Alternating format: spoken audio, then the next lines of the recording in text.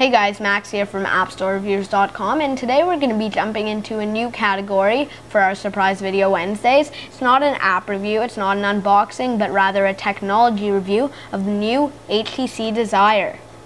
So as you can see here, I put the phone back in its original casing just for unboxing purposes. So I'll go ahead and slide the phone compartment out of here where you will clearly find the phone. So I'm going to go ahead and drop the phone out here if I can do that.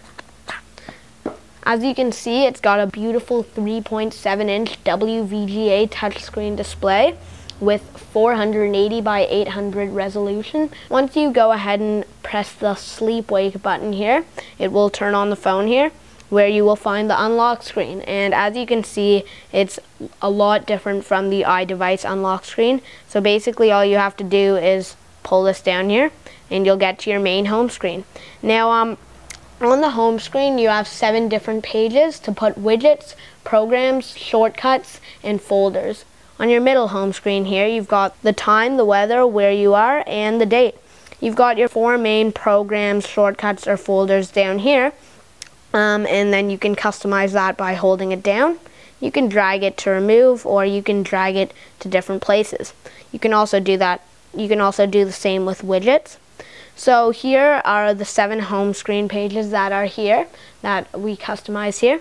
You've got um, this home screen page, you've got your music, you've got news, you've got photos, and back to the middle one here.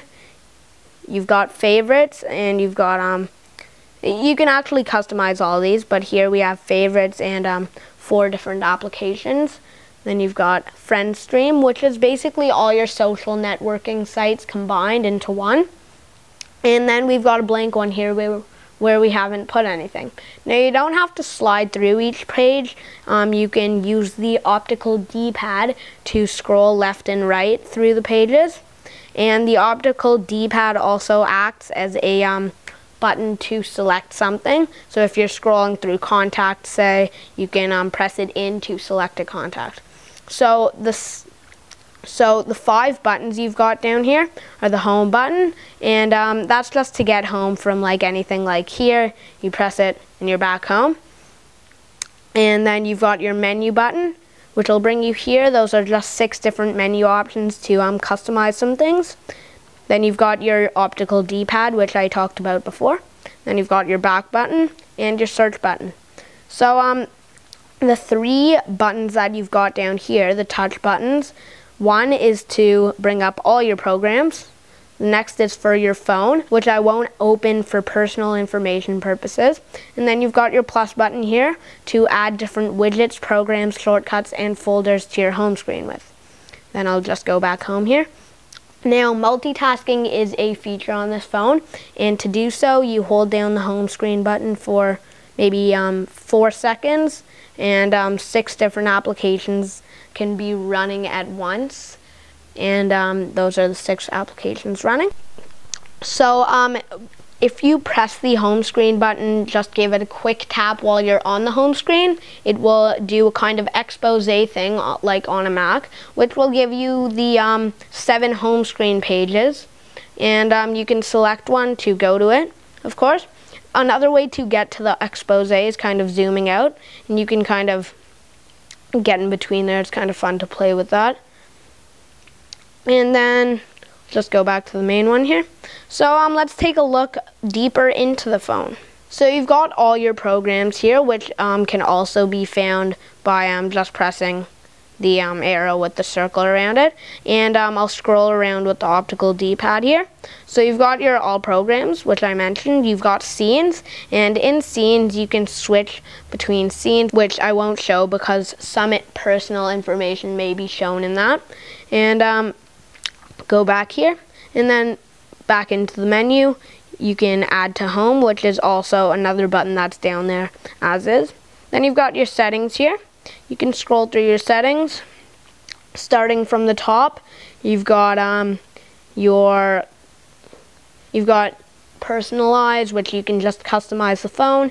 You've got wireless networks, call, sound and display, accounts and sync, location, search, privacy, connect to PC, security, applications, SD and phone storage, date and time, language and keyboard, accessibility, text to speech, about phone, and that's it back into the menu, you've got notifications there. And notifications can also be pulled up by um, just bringing down this um, menu bar up here and we've got no notifications so we can just slide that back up there. So um, then you've got your messages, mail, internet, and market here and I'll show you the internet browsing. It's a very nice internet experience and it's not as fancy as on iDevices um, like for instance when you rotate the device. It does have an accelerometer except when you do rotate it doesn't um, do a kind of switching motion just clicks to there and same kind of zooming stuff as on the iPhone. Here, if you press the menu button while you're in the browser, it'll bring up these six options in the address bar and the menu bar up here. So you can go back, forward, add bookmark, bookmarks, window, more. And um, let's click more and go to the home page, which happens to be Google here. So Google um, actually looks very similar to on the iPhone and iPod Touch and iPad on all iDevices. Um, Google is the same kind of interface on the HTC Desire. And then back to more, you've got find on page, text selection, page info, share page, downloads, history, and settings. Now, unlike old iDevices, this phone does have flash, which is um, a big pro for this phone and a con for all iDevices. Anyways, that's about it for the browser. Alright, so um, as you may have seen before, this phone does have a very nice 5 megapixel camera with LED flash and a nice speaker beside it. And then it says HTC there with Google with HTC Sense. So if I go ahead and launch the camera app here, which is right there, um, it opens up in landscape mode and it's a very clear 5 megapixel resolution camera which is um I have to say it's a little better than the iPhone only because it has settings like um you um you can adjust you can adjust the exposure, the saturation, the contrast, sharpness. You can have a bunch of different effects, which the iPhone does not have and you can even adjust the white balance ISO, the resolution, the widescreen if you want it widescreen or just standard, the quality of the photos, self-timer, which the iPhone doesn't have. You can geotag your photos, metering mode. You've got a bunch of different options here. And then of course you've got the flash options here. It's on auto flash. Then you have it on forced flash and then no flash. So I'll keep it on auto here keep it on auto here. And then this button here will allow you to zoom in, which is a very, it's a very nice zoom feature. And then you can browse through all of your photos here. And then I'll go back to the home screen here. And that's about it for the phone. And then on the bottom here, you've got your micro SD port. And then on the top, you've got your power button and your um, 3.5 millimeter jack for headphones there. Now I'll move on to the box. Clearly there you've got your 8 gigabyte micro SD card which comes with it. And then opening the bottom up you've got um, your consumer limited warranty here. Now this is on TELUS, so it might be different for yours. You've got your headphones and charger here. So it's a very nice looking charger. It comes with a USB adapter actually.